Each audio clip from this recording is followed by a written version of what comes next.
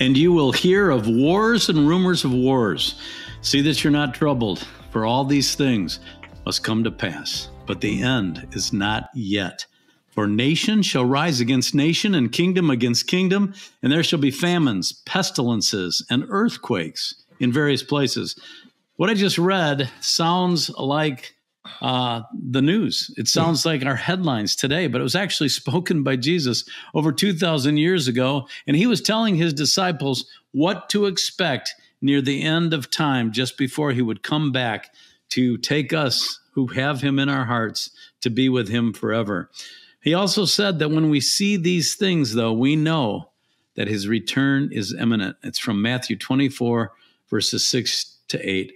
While none of us know specifically when the end will come, we can certainly see the signs. I'm Dan Wheeler, and this is Finish Strong, and I'm joined by Terry Steen and Brian Roland. And guys, Jesus told us the signs, and we're seeing them all around us. Mm-hmm. It's kind of mind boggling, isn't it? You know, we've lived all of our lives and we've heard things and we've seen some things, but I don't think it's ever been more poignant than it is today, huh? Especially so when it comes to the Jewish nation, uh, mm-hmm. the nation of Israel. Uh, how many, how people have turned so many things around, and the hate that's coming out and anti-Semitism. It's just amazing to me. Never thought I never thought it would turn out like this, but it's that's what's yeah. happening. Yeah. Well, we didn't think we'd be alive. I remember growing up, we'd always heard about it that, you know, the Lord could be coming soon every New Year's Eve. But now, with the things that are happening, we, we know it's coming soon. Mm-hmm. I mean, mm-hmm. everything has aligned, all the prophecies have been fulfilled. And you're right, Brian, Israel is the focal point at the end of all time. And that is certainly mm-hmm. the case today. But you know, we've discovered that God really told us how to prepare the end times. And Terry, he gave us 10 things in the New Testament in First Peter that we need to be doing. And that's what we're going to discuss today. Yeah, and uh, I, w- I was reading in Peter and realized that he was preparing us because he knew the day would come. And as we're mm-hmm. seeing, there's some people freaking out, there's some mm-hmm. people that are excited. Everyone has voices in their head or people they listen to that are impacting them and how they feel about how things are going. And Peter told us in the fourth chapter of First Peter that we're to be clear minded. And I think he knew ahead of time that there would be so many things that would confuse us and people wouldn't know what to believe. And, you know, the reality is nobody can make you think what you don't want to think. We can have self control over our thoughts, can't we? And, and he said in the seventh verse, let me read it the end of all things is near, which he warned us. He said, Therefore, be clear minded and self controlled so that you can pray. And mm-hmm. it's it's just interesting that the one of the fruits of the Holy Spirit, of course, is self control. James talks about self control of the tongue, but Peter here is talking about self control of our mind and of our thoughts. You know, Timothy said, to not have the spirit of fear because we can control our thoughts. And so it was kind of interesting as to why. He says, control your thoughts so you can pray. If we're scattered, if we're doubtful, if we're not believing, if we have those thoughts in our head, we can't effectively pray. And if we ever needed to pray, it's now, isn't mm. it? Sure is. Sure is. The second thing that he tells us, is to pray always and pray for the peace of Jerusalem. And we read that in Psalms 122, and, and it's the sixth verse where it says, Pray for the peace of Jerusalem. And may those uh, who love you be secure. And you know, I was looking at that and thinking, we're praying for the peace of Jerusalem daily. We're supposed to be doing this. And we're thinking now about all that's going on, and there's further sink from peace, right? So people people are being killed. It's war and that's going to happen. The Bible tells it's going to happen. But what I when I look into it, the praying for the peace of Jerusalem is actually praying for Christ to return. Because until Christ comes back and sits on the throne, there's not going to be peace in Jerusalem. Mm. So we're actually praying for his return. And as more we pray for his return and more we look for it, the sooner it's going to come. I think he's he's he's right at the cusp right now because all that we're seeing. But that's what I get out of that right now. Is just praying for the peace. We pray for the peace of Jerusalem all the time. I pray for them and, and, and for the people there and the leadership there. But I also pray for Christ's return because I know it's going to be true peace in Jerusalem. Well, you can see that people have no knowledge of the word of God when they're out on the streets just shouting hatred and mm-hmm. death to Israel and, you know, from yeah. the, the land of the sea and calling for their the total annihilation of Israel. They just don't know what they're doing. I mean, they're mm. speaking against God's people. And we do need to pray for the peace of Jerusalem, which um, Pam and I do every day. But you're right, Brian. I never quite thought of it that way. We are praying for Christ's return when we will have ultimate peace. And one thing I wanted to add on that first point about being clear minded, Terry, I think when we're clear minded, that's when the Holy Spirit can really speak to us. Mm-hmm. Um, yeah. I know you yeah. guys uh, have had moments where you feel like God just dropped something into your head and you're like, oh, that's the answer I've been looking for. Mm-hmm. I think mm-hmm. that's being clear minded and being open to his voice.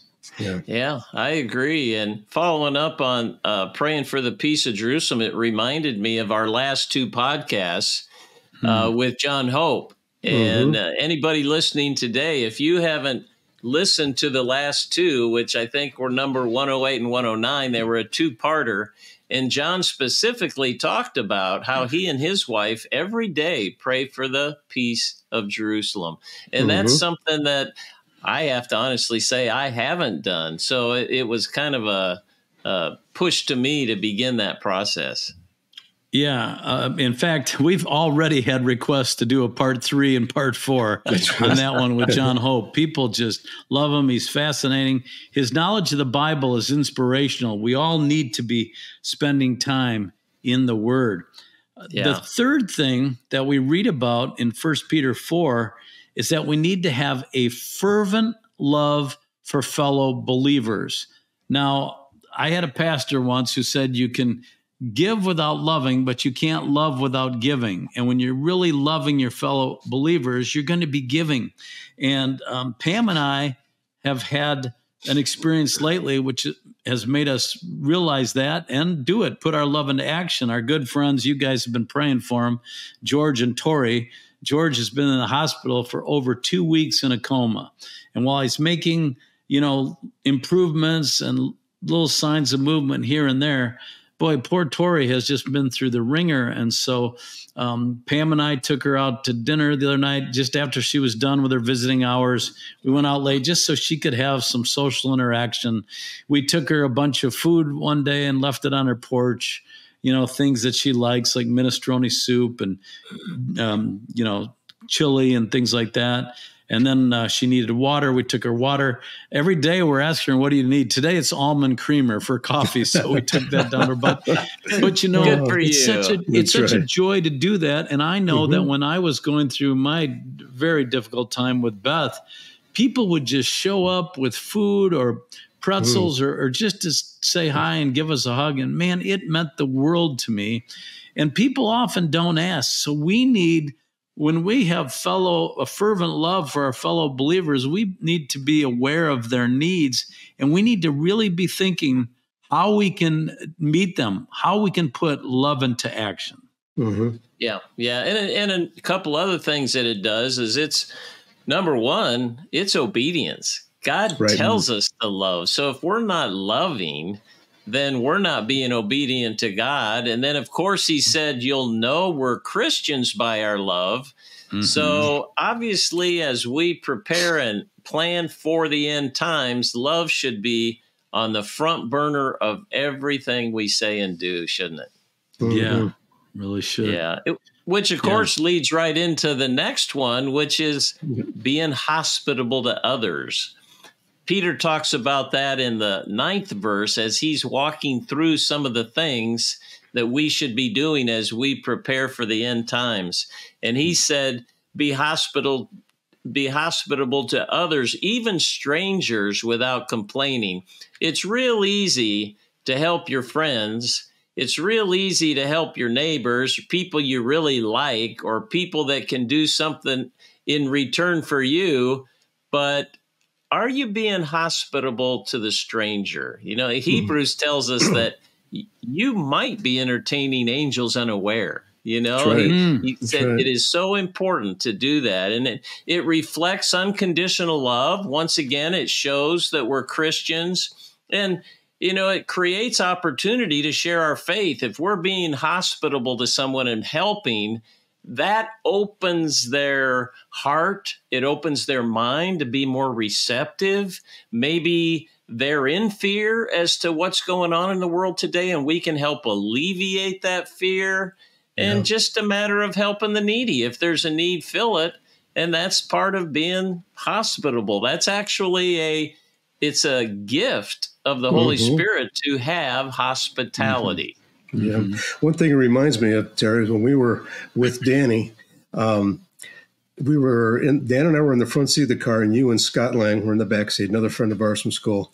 And this little old lady was trying to get across the, the street there, remember, to get to the shopping center? And you and Scott jumped out of the car and you helped her across. I'll never forget Yeah. that. Oh, it's- Uh, yeah. Yeah. Because I remember, Brian, you wanted me to speed up. I did. And- I said, yeah, get him now. No, no. I think points. you can beat her. I think you can get past before she crosses. She, of course, And she got, Brian, she got we there know faster we- than you did. But We know we have Yeah, to be we- hospitable to, to Terry because it says to strangers. I don't know anyone stranger than Terry, so I'm just Oh, kidding. I see what you did there. Just see what I did. It's just I a see joke. what you like did there. Just a hospitable joke. um, but Yeah. Being hospitable to strangers, I like that. And we use our gifts, just like um, it says on our next point, number five. Um, all of us have different gifts. I mean, not everyone is an orator, not everyone's a writer, not everyone's uh, an organizer, but everybody has a gift. And First Peter four ten tells us each of you should use whatever gift you have received to serve others as faithful stewards of God's grace in its various forms. So we need to use what we have. Um, in this time that we're living in, which is the end times, uh, I, I, I saw uh, a program last night, and a gentleman on there said something I thought just hit me hit me hard, hit me at home. He said that we need to be out there right now using our gifts and to reach others, and we need to ask everyone, anyone you see, you need to be asking them if they're prepared. Do they have Christ in their life? He goes, if they, if they have an opportunity to receive Christ and they don't accept it, that's on them. But if you have an opportunity to tell someone and you you don't tell them, then that, that's on you. You failed. And I thought, wow, that just really hit home. And we need to use what God has given us because He will use it and He will multiply that. And if you have no boldness, He'll give you boldness. If you think I'm too shy, He'll take that away. So He'll lead you to the people you need to talk to, need you who you need to be witnessing to, who you need to be serving. which is why we formed Fearless Faith. We thought, what can we do? Well, we can speak, we can write, we can do create videos. Um, but so often I hear what you just said, Brian, that people say, "Oh, I'm too shy. I can't talk to people." Well, I mean, hey, the stakes are high. Yeah. It's we have to get out of our comfort zone in, in in using our gifts. That's often the case. I know some people are afraid to commit time to the church or to a new program or whatever. And and I often hear, "Oh, I can't write or I can't speak like you." Well, there's something everybody can do. You can usher, you can uh, get involved in worthy causes. Right now, our church has a collection drive for needy children across the, the bridge in a, a um, lower income area. And, um, you know, that's something we can all get involved. We need to look Right. for those ways now more than ever. Wouldn't you say, Terry? Mhm. Yeah, and and being a servant, that's that's one of the fundamental foundations of being a Christian. And God tells us so much to serve. It's an outgrowth of our faith. And when you think about it, God promises to provide every need a person has or a Christian has. And sometimes, frequently, he uses a fellow Christian. He's right. expecting us to step Mhm. up to serve others as the way to meet that person's need. If we don't do our part, then we're leaving a Christian in need and someone else is going to have to come around to do it. But God will Mhm. see that it's done. Right. Yeah. A few years ago, the group Alabama, I uh, kicked off their uh, first ever gospel CD, inspirational CD on QVC. And one of the songs uh, that Randy wrote was uh, called "Angels Among Us," Mm. and it's uh, you know I believe there are angels among us sent down to us from somewhere up to above. They come to you and me in our darkest hours. And as you hear the song, you realize the angels among us are us, you know, fellow Mhm. believers, people who step up and, and hear that divine call. So yeah, using our gifts, Brian, that's so important. And sometimes that involves stepping out of our comfort zone. Mhm. Yeah. Um, our next point is do all things for God's glory. Boy, there's one for you. so many times we think we're doing it on our own or on our strength, and we are tempted to say, Wow, look what I did. Boy, it's all God. We owe everything to Him. In First Peter 4 11 uh, says, If anyone speaks, he should do it as one speaking the very words of God. If anyone Yeah. serves, he should do it with the strength God provides, so that in all things God may be praised through Jesus Christ. To him be the glory and the power forever and ever. Could it be that everything we do can be for God's glory? I mean, even just speaking a word of encouragement to somebody, it may not sound like much, but when you do it to God's glory, oh my, you're way out of your your league and, and you're oh. beyond yourself, but you're doing something great. Yeah. Yeah, I was thinking. I think we did a early podcast on it, but the idea of everything you do is with the view of eternity in mind. Right. And this goes right along with that. Everything we do for the glory of God, if we have an eternal mindset as we get up in our day and everything we think about has eternal consequences. Yeah, I watched a movie a couple weeks ago that was in the theater called After, I think it was called After Death. And one of the ladies who died and came back, one of the things she remembered most distinctly was you know, if we do something for someone else that's beneficial and we see them do something and we go, oh man, we help this person and, and they help that person, that's two degrees out. Well, it was interesting to me that when she saw heaven, she saw 30 degrees out of mm-hmm. some of the things she had done on earth, how it impacted that many people. And I don't think we think about that, but that was overwhelming to me that if we look at everything we do today, we will not know till we get to heaven how right. extensive the results are of doing things for God's glory. Mm. I want to see that movie. You saw it, right, Yeah. Brian? Yeah. yeah Yeah, what stood out to you about it? Um, I, uh, what Terry just said there, that that's that spoke to me as well because I knew it was coming. They mentioned somebody mentioned it that uh, you're going to be surprised when you when you hear how far out your your witness will go or, or helping others will go. Yeah. And um, when they said that, I thought, wow, it's it, it, it makes you think. You start you start going back and thinking what not only what I've done work wise or you know around in church wise, but around other people. And I thought about how much negative I put out there to tell you the truth instead of the good, because Mm. it, it made me reflect, thinking, Yeah. hmm, you know, I, I how much did I hurt other people instead of help in those times? So Yeah. it, made it made me think about that hard. Yeah, Terry and I have been meaning to talk to you about that, but yeah, uh, we'll, we'll, do that off yeah, screen. we'll do it offline. yeah, I don't need intervention right now. well, you know, John Matarazzo, our fine uh, producer, uh, interviewed, I think it was the uh, producer, one of the producers of that movie. And I remember when she was talking about that, it was like a pebble dropping and you see all the waves spread out. And you don't realize that. And we've talked, the three of us, that we'll never know the effect, the impact that Fearless Faith Ministries have had or this podcast Mhm. until we get to heaven. But we're always surprised the the things that people write us and how it's helped them. And it seems like uh, God always knows. Um, the other day, I, I did a, a, a take on. A, I did a couple takes, and uh, I was talking about are are you broken and do you need fixing? And I was reading these verses, and for some reason, the first two takes, I only read the first verse. And for some reason, the third third time, I decided to go read, go ahead and read the next verse. After God says, "I will rebuild you," He said, "and you will dance again."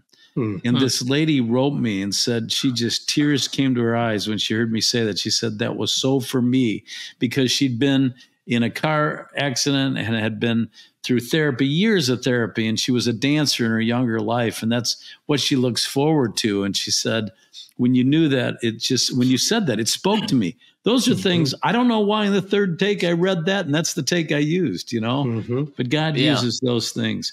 Yeah. Well, man, we're we got to keep moving. Um, where are we? So I guess uh, Terry, you're next. I did all things for God's glory. That's, that's yeah. Another thing he tells us to do is not to fear. And in Second Timothy one seven, we all know this verse: "For God didn't give us a spirit of fear or timidity, but a spirit of power, love, and a sound mind."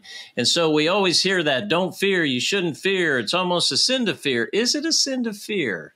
Because when you think about it, uh, fear is part of our emotions that God gave us. I mean, would mm-hmm. we be fearful if we don't know where our next rent payment's going to be, or if we got a health diagnosis, or our job was in jeopardy? It's human nature to have fear. So we're not robots. We are going to have those emotions. But I think what he's saying is, and what the Bible tells us, is that even with that fear, what do we do with the fear? Who right. do we go to when we're fearful? And how do we overcome the fear? And that's the key because fear is powerful, but God is more powerful. And First John 4 says that there's no fear in love. When we're surrounded by God's love, that casts out fear. So that's a good example. And, and in, in uh, Psalms, I was, you know, David, he's great he was fearful as well. And in Psalms, it says, The Lord's my light and salvation, so whom shall I fear? He was fearful, but he didn't have to because he relied on the Lord. Even though I walk through the valley of the shadow of death, I won't fear evil, for you're with me. And he said, I sought the Lord. He answered me. He delivered me from all my fears. So there were fears there. But if we'll trust in the Lord, if we'll rely on the Lord, if we'll be in his presence, we can overcome this fear that end times seems to allow to rush in. Mm-hmm. Yeah, 12 years ago, I was going through a really difficult time, and uh, I ended up in a, a mental facility. And uh, they kept telling me, Dan, you got to get out these sessions. You got to be more sociable. You got to quit reading your Bible. But I kept coming back to Isaiah 41:10, which says, Fear not, for I am with thee. Be not dismayed, for I am thy God. I will strengthen thee, I will help thee, and I will uphold you with the right hand of my righteousness. I read that over and over. I read the Psalm 4 or Isaiah 41 over and over. And that verse hmm. and that chapter got me through. And ultimately, that's what pulled me out. And God broke through, and I began to truly heal. Yeah. Um, mm-hmm. But fear can be crippling, can it, Brian? It can be. As you know, I went through a about with that too, where I didn't I didn't know what I was afraid of, but I was afraid of something. My hormones were all off balance, and it's it's amazing because you just sit there and, sh- and shaking, going, I have no idea what I'm afraid of, but something hmm. was hmm. making me fearful. So my what I was doing was I was singing in my head. I was reading verses. My cousin Marlene sent me a bunch of verses that would really hit home, and I kept singing "Peace, peace, wonderful peace." And the more I would sing that, the more I would I would come down from the fear and come off the ledge like that. And I just kept re- uh, re- referring to that because that is true peace is come, can only come from Christ. And yeah, that's what I had to, that's what I had to go to. And that's what I stood on. And I believe that. And, you know, it's, it's like I tell everybody, if, if, if we don't agree on things, one thing, if we can't agree on is, is the Bible. My the Bible is my true north. If you if that's not your true north, then we're never going to agree on things. But that's my true north, and I, I know it says that God is peace, and um, He gives us peace, and I I stood on that, and He delivered. Yeah. Okay, well, man, guys, we got to keep moving here. What's number eight, Brian? Well, well, it goes right to it. Testify to the truth about God, and and Revelations twelve eleven, uh, it says they triumphed over him by the blood of the Lamb and by the word of their testimony. They did not love their lives so much as to shrink from death. In other words, they overcame the deceiver or, or Satan by the blood of the Lamb and the word of their testimony. And we got to depend on that. we know that God, Jesus shed his blood on the cross for us. And we have to stand on that because that's the truth. And that comes from the Bible. I said that's again, that's a true north, and that's a platform you could stand on and you can believe in and you can testify to. And there's no way that can be disputed. I mean, it's history. People know that Christ was on this earth. They know that he died. They know that he arose from the dead and that he ascended into heaven. It's been proven. Uh, people had saw it and had seen him live, seen this happen. And you could see by all the disciples and the people that were discipled through Jesus that went out and started these all the churches and started spreading the word. And all the disciples, um, most of them, I should say, except for one, maybe uh, they were martyrs. They were yeah. not gonna. They were not gonna say no. This isn't true. I saw it. I heard it. I know it. It was there, and they testified to it. And that's what we're supposed to be doing now too, is testifying to that. And when people say they they're too shy to witness, I say, tell your story, your testimony. They overcame the deceiver by mm-hmm. their testimony right. and the power of God's word. I mean, people can argue all day about theology, but they can't argue with your experience and your testimony. Right. So just tell it if you want to witness. Yeah. yeah, and if if people want to know or hear more about that, we did two podcasts one was uh, number 83, where we just talked about witnessing and sharing. And then mm. 107, we just recently did on telling mm-hmm. your story. So those right. are two great ones to go back yeah. to and listen to. I think Terry's our podcast historian. His, there we go. He's our podcast Torian. Something like that. He goes like back it. into the vaults and finds right, the yeah. old episodes. All right. Number nine, and this is a big one, guys. We've got to study God's word mm. and know how to use it against the devil. Ephesians 6 17. Uh, I'm reading from the New International uh, Version. It says, Take the helmet of salvation and the sword of the Spirit, which is the word of God. It's mm-hmm. our sword. Remember, we used to do sword drills, Bible drills, yeah. but it is. Um, and if you look over in Matthew 4, when uh, Jesus was being tempted by the devil, what did he do? He quoted scripture. He said, You know, man shall not live by bread alone. Thou shalt mm-hmm. not tempt the Lord thy God. In verses 4 through 10, we read all about it. But, and eventually the devil left him. He couldn't compete with God's word. And the devil knew God's word, but Jesus was reminding yeah. him of it. The devil tried yeah. to use the word against him, but he was taking it so out of context. And Christ said, no, no, that's not it. Right. You had to tell him, set him right. right. But boy, Terry, if there's ever been a time we need to know the Bible, it's now. It's the truth. Second Timothy 3:16 All scriptures given by inspiration of God's profitable for doctrine, for hmm. reproof, for correction, for instruction that the man of God may be perfect, thoroughly furnished unto all good works. If we want to hmm. move toward perfection, it's not going to come without the word. The word is right. going to really bring the dross to the top. And mm-hmm. we've got to have it. And then within that process, we can begin to do things like forgive others. And that's the mm. last point is forgiveness.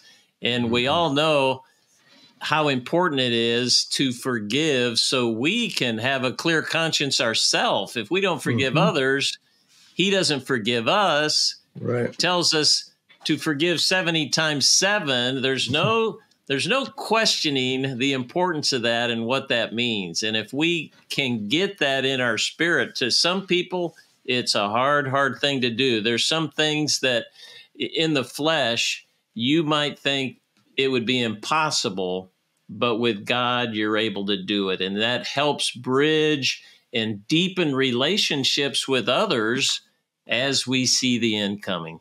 Mm-hmm. Yeah, and we've done uh, things on forgiveness too.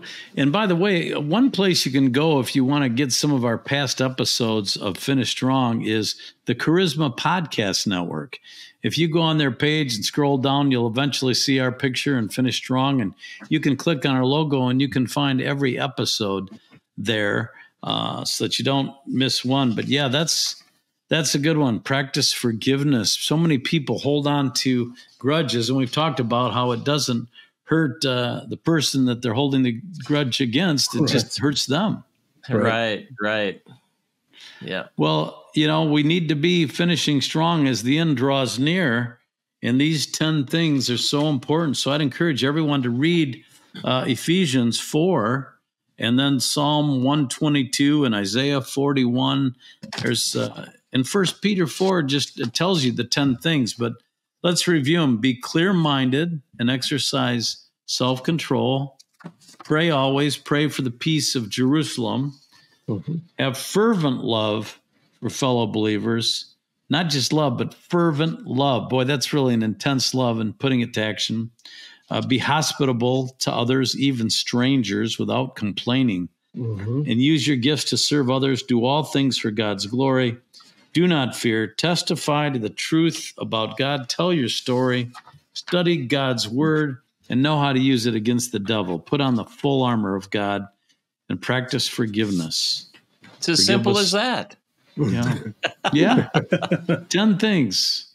Easy like peasy. It. Yeah. well, guys, uh, I don't think there's any doubt that the end is drawing near. And yeah. uh, boy, you know, I try not to dwell too much on the news because it can get depressing. But man, people that don't know the word, they just be, once you know the word of God and the prophecies and you see them come true, you're like, wow, there's no doubt. This mm-hmm. is truth. This book is yeah. true. Right? Yeah. Yeah. It's like we have an unfair advantage. It's like knowing the end of the basketball game. If you record the basketball game, but you already knew that your team won, you can uh, just sit back and relax. No stress. Exactly. I'm not, I'm That's kind of the way the it is yeah. with the scripture. As a Christian, we know how it ends. We yeah. can sit back and relax. That's a good analogy. Like like if someone were to steal signs in football, they don't yeah. need to do that because they're probably the best team in the land anyway. Oh, so brother. He always has a way of bringing that back around. Did I say anything about Michigan? I didn't say anything about no wonder. Now I see it. hey, I think we're out of time. I think we better wrap it up. All right. Hey, guys, um, another great podcast. Yeah. Uh, and our next podcast, we're going to answer your questions. So stay tuned to Finish Strong. God bless you, and thanks so much for listening. Thank you for listening to Finish Strong. For more information about Finish Strong and Fearless Faith, check out their website, ffaith.org. Make sure that you rate and review this podcast to help more people accomplish their God given purpose so that together we can finish strong.